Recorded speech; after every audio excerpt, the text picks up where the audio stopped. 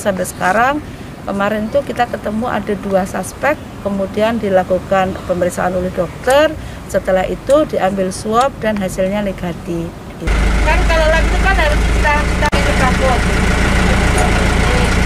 ini ada pada kalau kita masuk keluar itu menggunakan air atau jalan segala macam harusnya kita harus terus kemudian ini karena kebiasaan jalan kedua jadi dia ada namanya BSC biosertifikat yang sudah terlakukan di dalam sertifikasi C apa ini mesin PCR ya PCR ya PCR nya kemudian ini ada ini ada kulkas ya ini ada kulkas freezernya untuk bahan komplit ya cukup komplit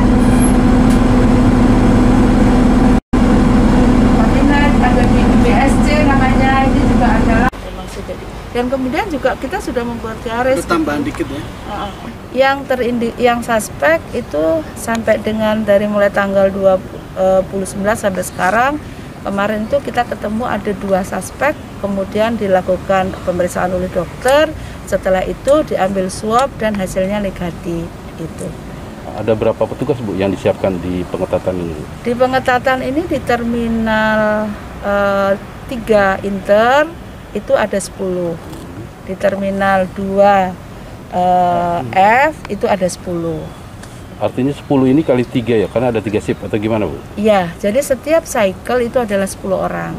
Karena kan mesti di situ situ situ situ situ kan ada yang begini, ada yang begitu, ada yang boarding. Nanti itu ada lagi tim boarding ya. Tim boarding itu ada empat orang. Jadi itu di luar tim boarding.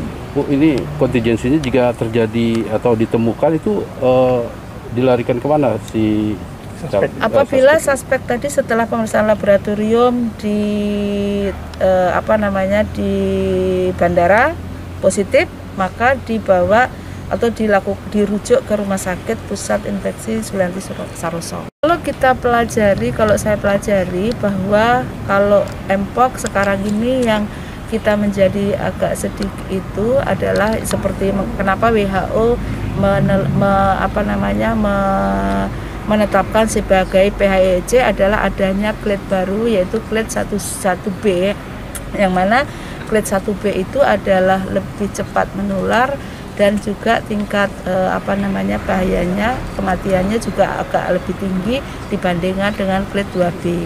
Di Indonesia 2022 sampai 2023 itu eh, beberapa mungkin sudah baca juga ada 88 orang tetapi semuanya adalah clade 2B. Kita berharap bahwa clade 1B itu tidak masuk di Indonesia sehingga dilakukan pengetatan-pengetatan pengawasan eh, di pintu-pintu masuk. di eh, tanda gejala kalau memang ada Jadi begitu kira-kira.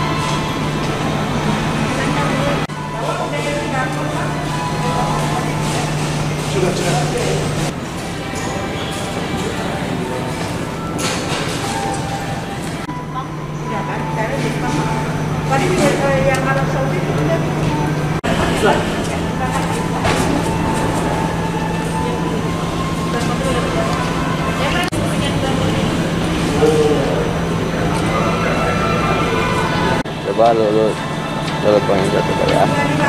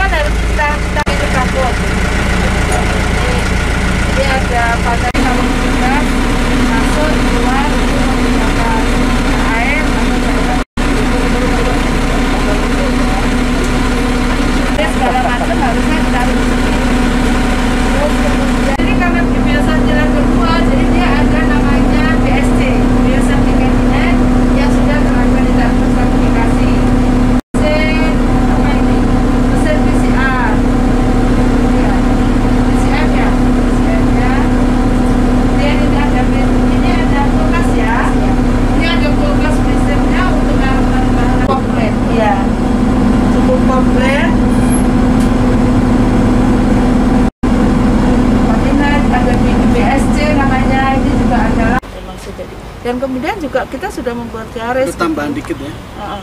yang terindi yang suspek itu sampai dengan dari mulai tanggal 29 sampai sekarang kemarin itu kita ketemu ada dua suspek kemudian dilakukan pemeriksaan oleh dokter setelah itu diambil swab dan hasilnya negatif di eh, tanda gejala kalau ada Jadi diperiksa.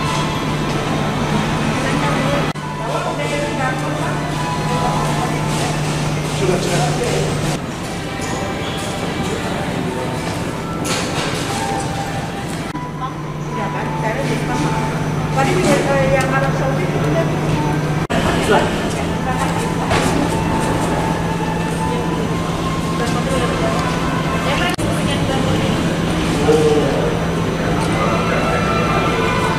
Coba Tulog po yung ya. Ya.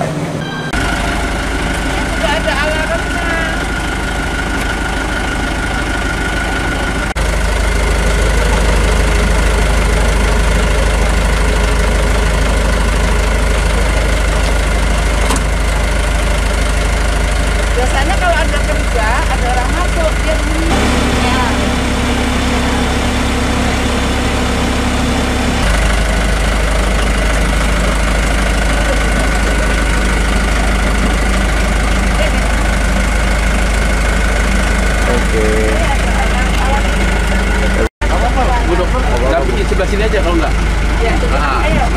Ah.